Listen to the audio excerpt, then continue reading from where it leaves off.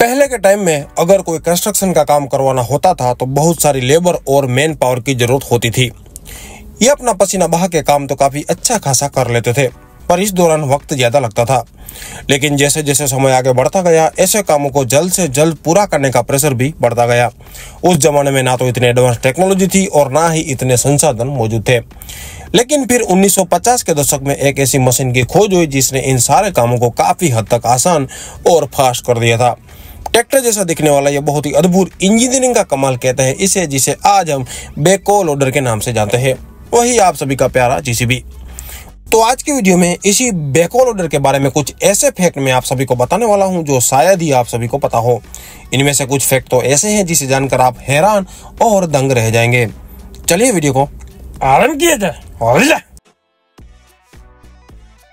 Number one बैकोलोडर segment में आज के टाइम में सबसे फ़ेमस कंपनी है जीसीबी इस कंपनी ने बैकोलोडर की दुनिया में अलग ही बादशाहत बना रखी है। लेकिन आप में से ज़्यादा लोगों को नहीं पता होगा कि दुनिया का पहला फुल्ली इंटीग्रेटेड बैकोलोडर जीसीबी ने नहीं, बल्कि किसी और कंपनी ने बनाया था। आप लोगों को शायद यकीन ना हो, पर सच यही है। यह कारनामा सन उन्नीस सौ सत्तावन में जे आई केस ने यूनाइटेड स्टेट में किया था।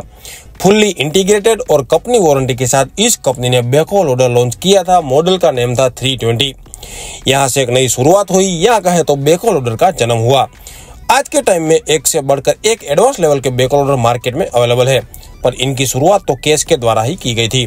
क्या ये वाला फैक्ट आपको पता था? कमेंट करके मुझे ज़रूर बताइए। नंबर दो बैको लोडर का मीनिंग। आप सभी ने यह तो जान लिया कि सबसे पहला बैको लोडर किस कंपनी ने बनाया था। पर क्या आपने कभी सोचा है इसे बैको लोडर कह के ही क्यों बुलाया जाता है? इस मशीन का नाम बैको लोडर ही क्यों रखा गया? नहीं जानते? अरे मैं हूँ ना। सब कुछ बताऊँगा। दरअसल, अगर आप बेकर लोडर को ध्यान से देखें तो इसमें एक बड़ा सा बकेट आगे की ओर दिया जाता है और एक बकेट लोडर के पीछे की ओर दिया जाता है। पीछे वाला सारा अटैचमेंट बूम और आर्म के साथ कनेक्ट होता है। अब ये जो पीछे वाला अटैचमेंट लगा है, जिसमें आर्म बूम और बकेट शामिल है, अगर आपको इससे कुछ काम करना है तो बैक ऑफ़ द लोडर यानी लोडर के बैक पीछे की ओर लगा हुआ होता है। इसके सारे काम लोडर के पिछले वाले हिस्से से होते हैं। जैसे कि खुदाई करना ब्रेकर से हार्ड मटेरियल ब्रेक करना, ऐसे काम आप बैक ऑफ़ द लोडर यानी लोडर के पीछे से आप काम ये करते हैं। इसीलिए इसको नाम दिया गया बैक और लोडर यानी एक ऐसा लोडर जो आगे से भी काम कर सके और बैक ऑफ़ द लोडर यानी पीछे से भी काम कर सके। इसलिए इस मशीन को इंजीनियरिंग का कमाल कहा जाता है, जिसे मैं और आप बैक लोडर के नाम से जानते हैं। कुछ जगहों पर इसे अलग अलग नामों से भी बुलाया जाता है, जैसे कि यूएस में इसे बेकोस कहा जाता है रशिया में इसे एक्सकेवेटर लोडर कहा जाता है, और हमारे प्यारे भारत देश में इसे सभी जीसीबी कह के बुलाते हैं। क्या ये वाला फैक्ट आपको पता था? कमेंट करके मुझे ज़रूर बताइए। नंबर थ्री आप सभी ने यह भी जान लिया कि सबसे पहला बैको ऑर्डर किस कंपनी ने बनाया था और इसे बैको लोडर कह के क्यों बुलाया जाता है। अब इसके फीचर और इसके फ़ायदे के बारे में बात करेंगे। सबसे पहले इसके फीचर जान लेते हैं, जो कि आप किसी भी कंपनी का बैको लोडर खरीदो, वो सब में कॉमन ही रहते हैं। सबसे पहले बैको लोडर का सबसे बड़ा फीचर यही है कि इस मशीन के साथ आप लोडिंग और एक्सकेवेशन यानी खुदाई दोनों ही काम एक ही मशीन के साथ कर सकते हैं। ये मशीन काफ़ी ज़्यादा फ्लेक्सिबल होते हैं। दूसरा सबसे बड़ा फीचर है, अगर आपको एक साइड से दूसरी साइड इस बैको लोडर को भेजना हो, जो कि 50 या 100 किलोमीटर की रेंज हो तो ये मशीन मैक्सिमम 40 किलोमीटर प्रति आवर की स्पीड से एक जगह से दूसरी जगह पहुँच सकता है। इससे आपका ट्रांसपोर्टिंग का कॉस्ट काफ़ी हद तक बच जाता है।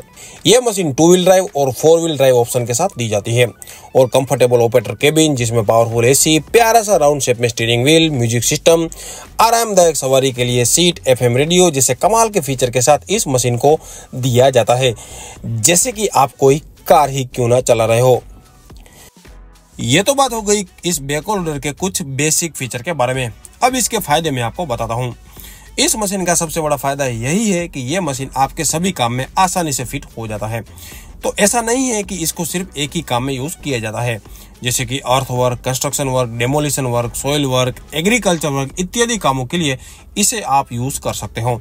तो कोई भी काम हो, आपकी जेब ये मशीन हमेशा भरता रहेगा। इन बैकऑर्डर के साथ आप अपने काम के अनुसार अलग अलग अटैचमेंट भी लगा सकते हैं। ये काफ़ी कमाल का फ़ायदा है, जैसे कि rock breaker grapple coupler ripper auger जैसे वेरियस टाइप ऑफ़ अटैचमेंट इसके साथ लगा सकते हैं। तो ये काफ़ी फ्लेक्सिबल प्रोडक्ट साबित होता है आपके लिए। अपने आप में ये कमाल की बात है। इसे ऐसे डिज़ाइन किया गया है कि ये आराम से एक जगह से दूसरी जगह मूव कर सकता है। और इसके हैवी टायर के कारण ये कैसी भी जगह हो ऑफ़ हो जंगल टाइप एरिया हो, या कैसी भी जगह हो, कहीं भी ये आसानी से अपने काम को अंजाम देता है, वो जगह पर पहुँच के। इस मशीन के लिए कोई भी लिमिट नहीं है भाई। तो ये कुछ बैकोलर के महत्वपूर्ण फ़ायदे या एडवर्टाइज थे जो आपको मैंने बताए। आपका क्या कहना है इसके बारे में, मुझे कमेंट करके ज़रूर बताइए। Number four. अब बात करते हैं आखिरकार इन बैकऑल ऑर्डर को किन किन एप्लीकेशन में यूज़ किया जाता है? मतलब कि कौन से कौन से काम पूरे करने के लिए इन बैकऑल ऑर्डर को वास्तव में उपयोग लिया जाता है? वैसे तो वास्तव में संजय दत्त था। वीडियो की शुरुआत में मोटा मोटा मैंने आपको बता दिया पर थोड़ा डिटेल में मैं आपको बता दूँ। इन बैकऑल ऑर्डर को सबसे ज़्यादा कंस्ट्रक्शन वर्क में यूज़ किया जाता है, जैसे कि रोड बनाना, कोई बड़ी बिल्डिंग बनानी हो लाइंस वगैरह की खुदाई हो या पाइप को ज़मीन में बिठाना हो।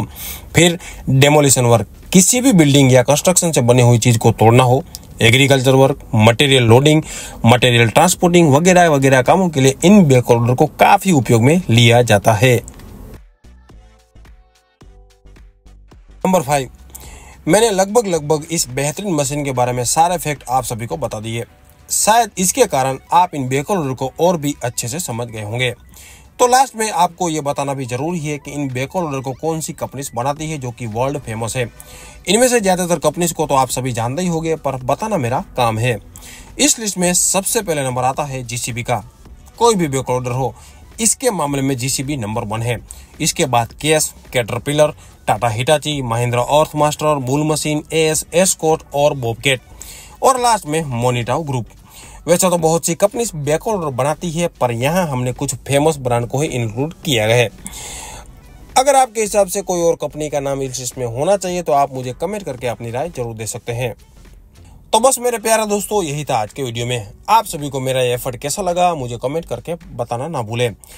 और आप नेक्स्ट ऐसे कौन सा वीडियो देखना चाहते हैं, वो भी मुझे कमेंट करके बता सकते हैं। तो मिलते हैं अगले वीडियो में, तब तक अपनी तबीयत का ध्यान रखिए। थैंक यू धन्यवाद. जय माता जी और सॉरी बहुत टाइम के बाद मैं ये वीडियो पोस्ट कर रहा हूँ। आपके सपोर्ट का बहुत बहुत शुक्रिया। मैं आपका शुक्रवार, गुरुवार हूँ। मिलते हैं अगले वीडियो में.